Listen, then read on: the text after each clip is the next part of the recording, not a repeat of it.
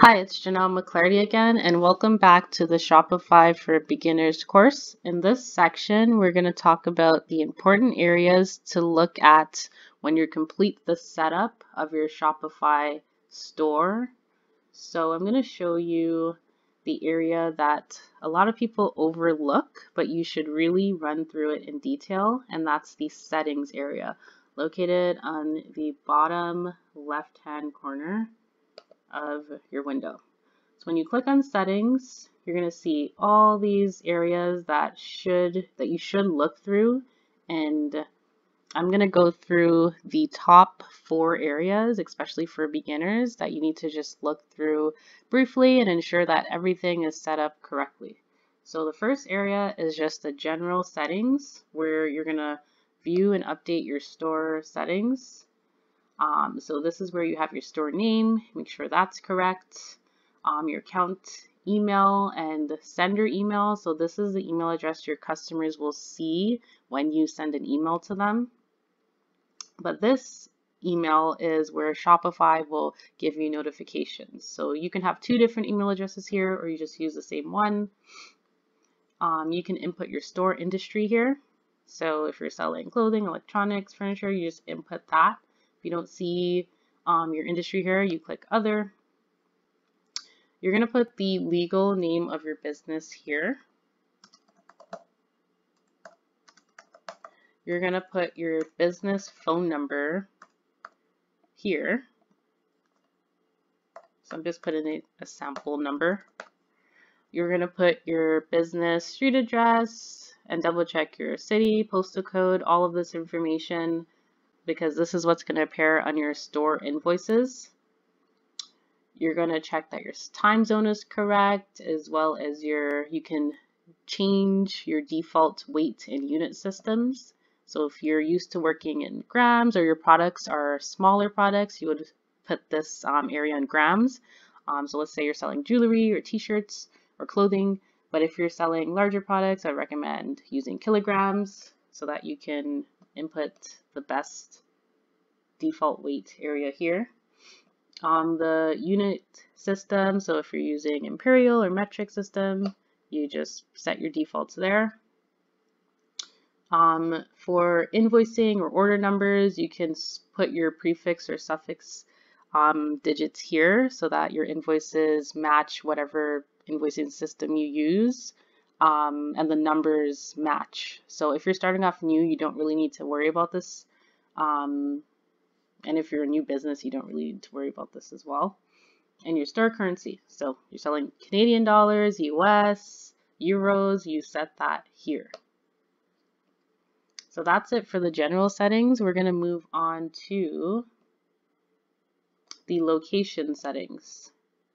So this is where we're going to manage where you fulfill your orders, where you sell your products, and where you stock your inventory. So if you do all of this in one location, um, and since this is this is a beginner's course, you might have done this um, at your home. So maybe you have your inventory at home, you fulfill your orders at home, and then you ship out from your local um, mailing service, then this could all be one address. But if not, you have in the basic plan one, one to four locations that you can put into this area. So let's say you have um, another location where you put your inventory, like a warehouse location, you would input that here and you would click on add location, which is at the top right. And let's say your warehouse is the Ontario warehouse.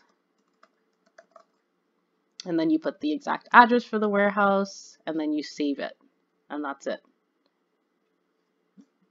And now you now you're gonna have two warehouses, or I'm gonna have to put the address, but you're gonna have two warehouse, you're gonna have two locations, and one can be for, as I said, stock, inventory, and one can be where you fulfill orders. Like it really doesn't matter. Um, but this is just gonna help you with inventory management and with your shipping costs. Now I'm gonna move on to the third important area that you should look for when completing the setup. of your Shopify site, which is your account information. So this is where you review your plan information and manage the staff in your that can have access to your Shopify store and um, the status of your store. You can update that if you need to. So this first area right here is where you see the plan. This Shopify store is currently set up on the basic plan, which is the lowest plan. These are all the plan details. You can upgrade or downgrade your plan by clicking this button. And you can compare the plans by clicking that button. This area is where you add or remove any accounts or permissions for people that you want to have access to the account. So maybe you have a web developer, a designer, or maybe you have a person who's doing marketing for your store that needs access. You would give them not your exact store login details, you would actually create an account for them by clicking on that add staff account button. You would input the person's name, you would input the person's email address, you would send an invite. Oh, actually, you would uncheck this if you don't want them to have full permission and you would check off where do you want them to have access to. So if it's a developer, yes, I would give them full permission. If it's not a developer and let's say it's just someone helping you with your inventory, you would just give them access to the orders area.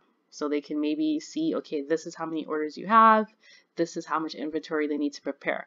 If it's someone who's doing um, marketing for your site, you would put the marketing tab and maybe you would check off the discount area because they're going to be managing what discounts um, are there in relation to your marketing. And maybe you would check off the gift cards area so that they can create gift cards and codes and discount codes for you.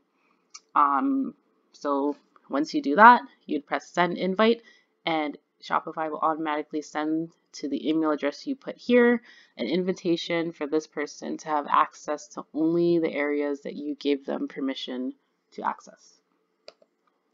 Now we're going to go back and the last area is login services and store status. So um, login services allows staff to use external services to log into Shopify.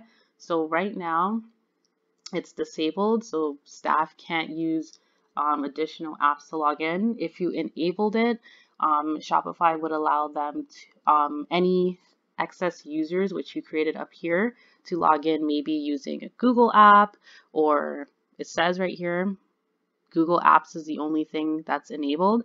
Um, so that's that's it. So it's not really, this area is not really that big of a deal, but this area, store status, if you want to um, close your store or just pause it or turn it off, this is where you would do that. So some people need to do that as they put a little asterisk here due to COVID-19 or let's say any changes in your business. You can just close your store or turn it off online and they'll save it for 30 days if you do change your mind.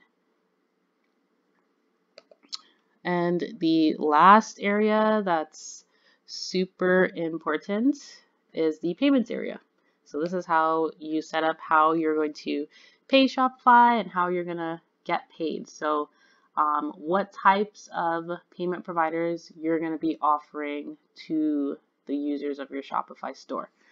Um, so right here you have Shopify payments. Um, this is the rates that they offer. So it's 2.9% plus 30 cents per card transaction. Um, if you want to activate that, you can do that. Um, a lot of you can activate literally all of these different types of payment options and have as many options available for your users as possible, or you can just activate one. So if you have a business PayPal account and you just want to use PayPal to accept um, the funds and from the sales that you get from your store, you would just activate your PayPal Express checkout. If you want to use a third-party provider, let's say like Stripe or Snappy Checkout, you would just click on this and choose a third-party provider that's on this list. So let's look and see if, um, see, we have like even QuickBooks here, QuickPay, We have Secure Pay, Sage Pay. So there's a lot of third-party payment providers that are linked to Shopify that we can use as long as they're here. Moneris is pretty popular as well. 2Checkout is right here. So yeah. And then we have alternate payment methods. So let's see. So there's so many different ones. So if you if you re you're really not confined to just using Shopify's payment um, gateway, which is the first one that I showed you. PayPal, so Shopify Payments is first. PayPal is second most popular. Then you have all these third parties. And then lastly, you have a manual payment method. So if you want, um, when customers make a manual payment, um, it can be processed outside of your online store. So it can be through bank deposit, money order, or cash on delivery. So let's say you want customers to just be able to make the order using your online store, but then they actually come to the store to pick up and then pay once they receive the product in their hand. This is the option you would choose right here. And then these are other manual payment options available as well. And then the last area is the payment capture area. So after a customer's payment method is authorized, it needs to be captured so that sales can be processed. So you can automatically capture the payment once the customer gets to the checkout area and clicks make purchase, or you can manually capture the payment. So the customer's payment method is authorized at the time of their order, but you need to go in and manually authorize and click that authorization for each transaction that comes in.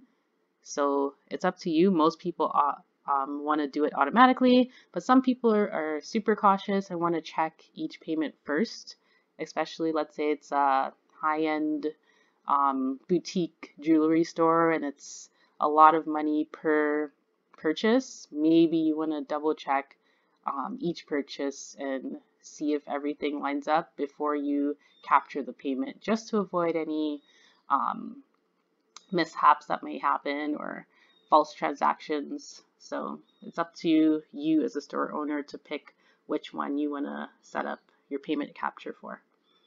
So those are the setup areas that we'll go through in the Shopify for beginners section. Um, in the intermediate course, we're going to dive deeper into shipping and delivery, taxes, um, billing, and each notification area. So these areas are a little bit more in depth and we'll go over that in the intermediate section of the course. All right, thanks for watching and I'll see you in the next video.